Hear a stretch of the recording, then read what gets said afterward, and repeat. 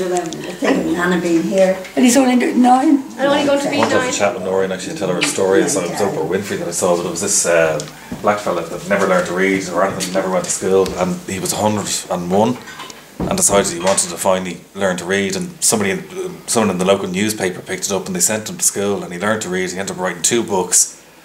Died at 103, but now he has streets and schools and everything named after him. My God Where, Almighty. where It, it was in In America, America. Louisiana. No way. What was his name? George something or other.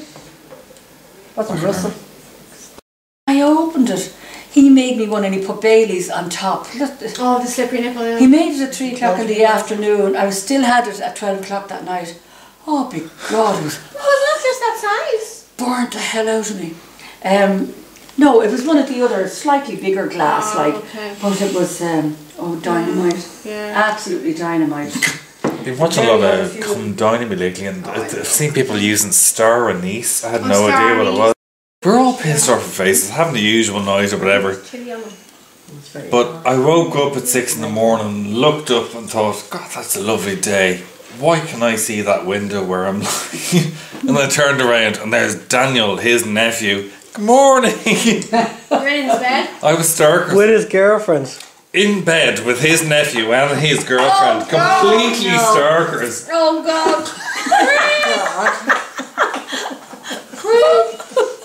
Don't be cringing. Be Oh doing God! I've no idea how I got there, but then it happened again. What, what was the other one? Let's not talk. I have to say, I love this bathroom. Isn't that beautiful? It has a his and hers and the other one. And why is that thing flashing up on the thing? It's like I'm out of battery. I think.